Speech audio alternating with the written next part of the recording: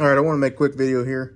I have these Oxford heated grips. I've had them for about two, three years, maybe even four years. I love them.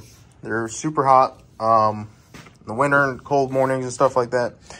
But I don't know if you see this. They are pretty deteriorated and also sticky. But new grips are very, you know, 100 bucks, and I don't really want to spend that.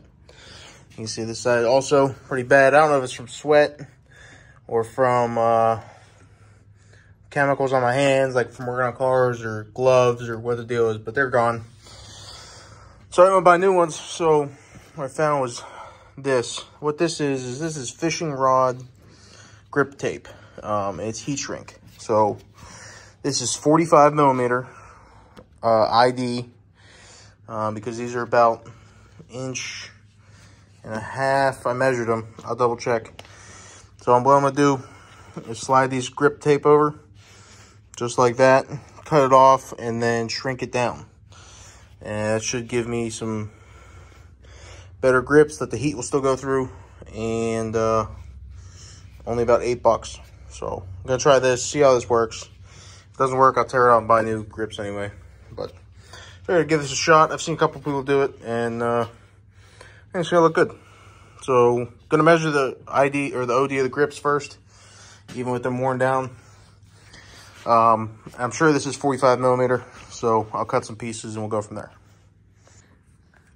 All right, so I got my first piece cut. You see, gonna slide it in just like that and heat shrink it down. Did want to show you, these are the Cruiser Oxford grip cruisers. Um, the caliper, the battery's dead, but you can see just over 40 millimeters, so that's why I bought 45. Now, Pittsburgh caliper, so plus or minus like three cal three millimeters, but 45 fits good, plenty of room. Um, so I think I'm just gonna try and find a place where I like it sitting, kind of like that. Um, grab the heat gun, and we're gonna try and heat shrink this.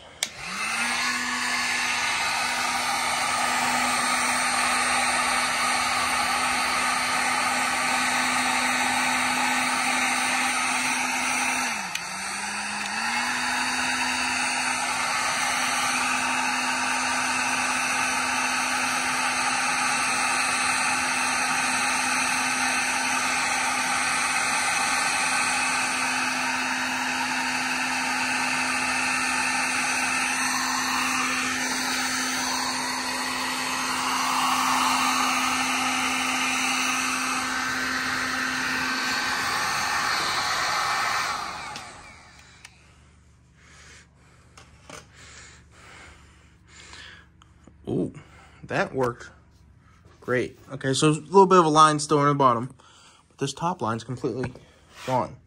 So I'm gonna clean this up and uh, take that bottom line out a little bit, but that looks awesome. I love that. Way better, not sticky. This might be a win right here. We'll see how long it lasts. Actually, I'll kick the heated grips on, see if they'll heat themselves. Um, all right, so I'll finish heat shrinking these and jump back with you. Okay, so just finished up both of them. I think they turned out awesome. Way better. Not sticky at all. You still get heat. I have the heat on, or had the heat on. Still feel heat through them. No slide. Not loose at all.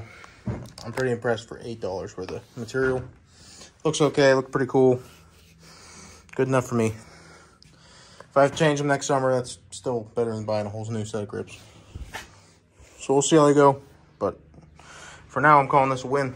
How to fix Oxford heater grips for $8, $12, whatever it is. Thanks for watching.